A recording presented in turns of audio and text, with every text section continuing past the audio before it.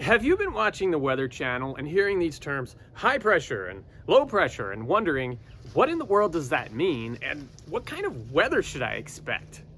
Well, hang out with me for just a couple minutes and I'm going to show you a really cool and simple illustration that'll help you know what high and low pressure is and what kind of weather to expect.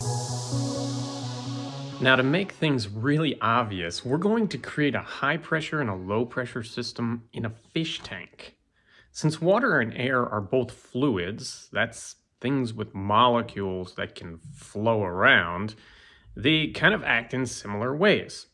So for today's demonstration, we're going to imagine that the water is actually the atmosphere.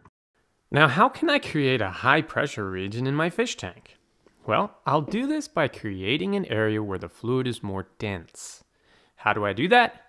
I'm going to add ice to just one side of the fish tank. The molecules around that ice will cool down, move closer together, and fall.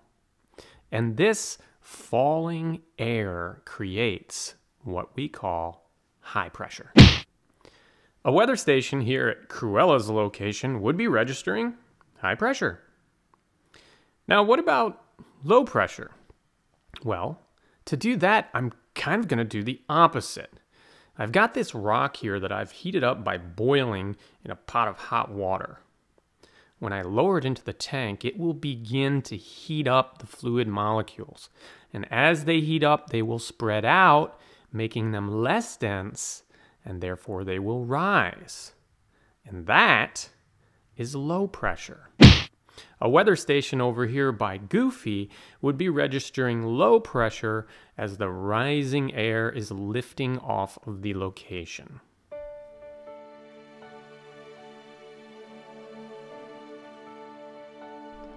Think I'm just making all of this up? Well, guess what? It's already happening in this tank. All I have to do is add a little food coloring so you can see it in action.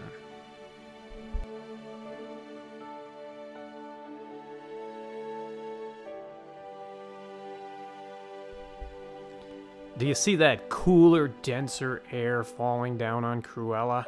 It's pushing down on her. That's high pressure.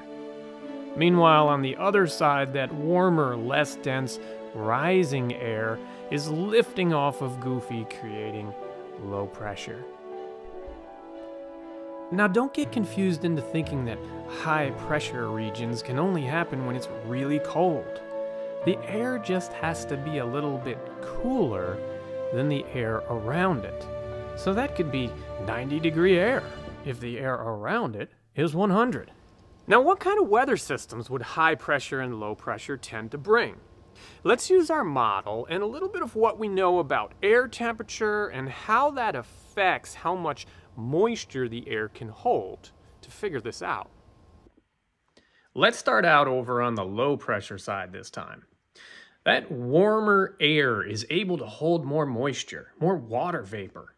But as it rises in the atmosphere, it gets colder and colder, and it can no longer hold on to all of its moisture. This is why we often get condensation, think cloud formation, and precipitation, that's rain, in low pressure areas. Meanwhile, over on the high pressure side, we have cooler air that's often drier falling towards the earth. This tends to create drier, more clear and sunny types of weather. One easy way to remember it, high happy, low lousy. So there you have it. You're a high and low pressure pro. Have a great day, and as always, stay curious, my friends.